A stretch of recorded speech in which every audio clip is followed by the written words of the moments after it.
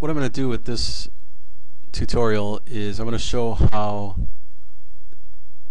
relatively simple it is to take a SQL database and display the information from the SQL database and bind it to controls and display them display the information onto a web page.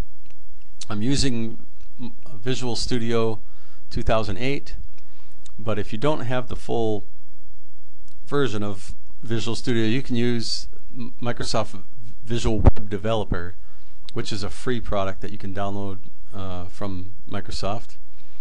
And you should be able to follow along just about step by step with with uh, even the free version. But uh, what I'm going to do is I'm going to make a database that is uh, going to have all of the NFL teams and it's going to be split up by division. And what we're going to do is we'll have a control on a web page that you can use a drop down menu choose the division and then it's going to display the teams that are in that division onto the web page. So I already have here a database that's created and actually what that is is it's the default database that the ASP.NET configuration tool creates when you want to add users to to log in and also to assign users to roles. And this this actually has the all the tables and all of the uh, data already in it for the, the user store. What I'm going to do is I'm going to connect to that through the Server Explorer and I've already done that and I've expanded the tables here. This is the the dot the ASP.NET database. You can see that there's a there's several tables, but those are all uh, used with the the the user information and the roles. Uh, and we're not going to touch any of that stuff in this tutorial. What we're going to do is we're going to add our own tables to this database, and then we're going to use that data to bind to and uh, display on our web page. So the first thing I'm going to do is I'm going to go ahead and right click on tables and I'm going to add a new table. And that's going to come up over here. And this is going to be my divisions table. So what I'm going to do is the first column name is going to be division ID that's going to be an integer data type. Now I'm not trying to teach you how to design uh, uh, databases right now but uh, just basically how to display the information once once it's created. So I'm not going to get too involved in with the data types and primary keys and other things that are related to uh, databases. But division, so we have our division ID and our division, and I'm going to make this varchar. We'll just leave it as varchar 50, so I can use 50 characters. I don't need that many. Uh, I'm not going to make this nullable because I want this to be my primary key and I'm going to move this up a little so I can come down here and make this the ID and I'm going to go ahead and save that and I'm going to call this divisions. That is where we're going to store our divisions. I'm not going to put any data in there yet but I'm going to make another table and I'm going to add a new table and I'm going to have this be my teams. Now the first thing I'm going to have is a team ID and that's going to be an in integer data type and that's also going to be the primary key.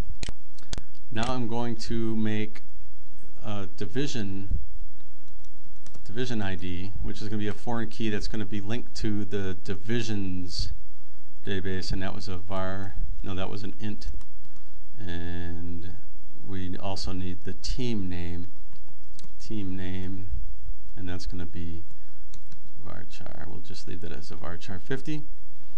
And I'm going to make this again. I'm going to make that a identity spec. And th this stuff here, increment and seed, is it just means that it's going to start with a 1 and it's going to increment each time I add a new team. So this is going to be my teams table. I'm going to say OK. And I'm not going to do all of the data now, but I just want to show, I'm going to, what I'll, what I'll do is I'll go ahead and add one thing to each of these tables. I'm going to go show the divisions data, and there should be nothing in here yet. So the first division I'll put in is I'll put in the AFC East and I'll put in the AFC uh, North and I'm going to close that for now. It saves on its own so you don't have to save it. Then I'm going to go to the teams. I'm going to show the table data on the teams and there will be nothing here.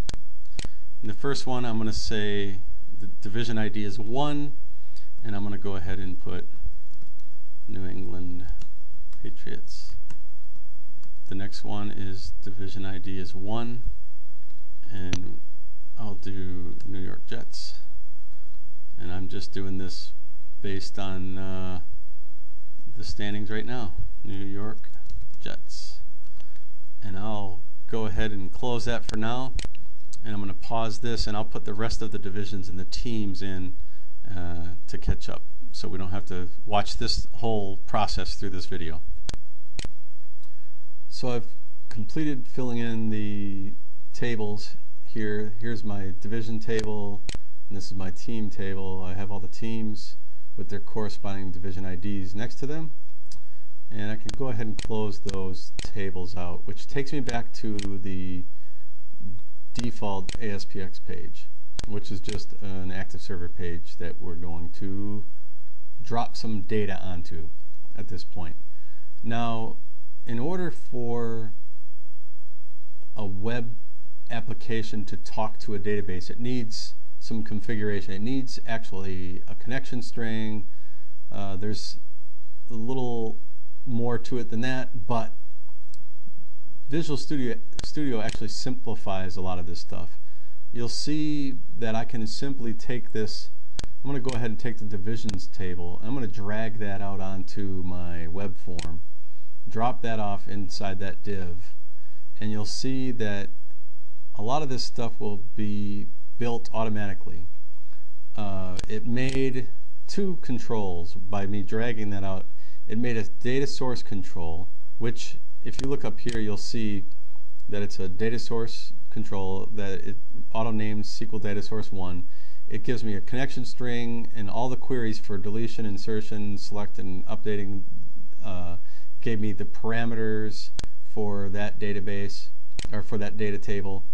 And basically, by just dragging and dropping, I, have created this entire uh, uh, SQL data source. Now it, it makes this grid view control which automatically binds it to the SQL data source 1 control that we just created and so we have with that simple drag and drop all, uh, ready to, to display grid view control on our web form. So I'll go ahead and save that and we'll debug which is going to launch my default browser. In this case on this computer, it is Google Chrome.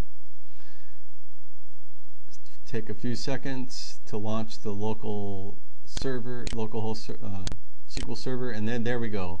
Our web web page is up, and it shows the division ID and the division, and there is our grid view control as it's shown on the browser.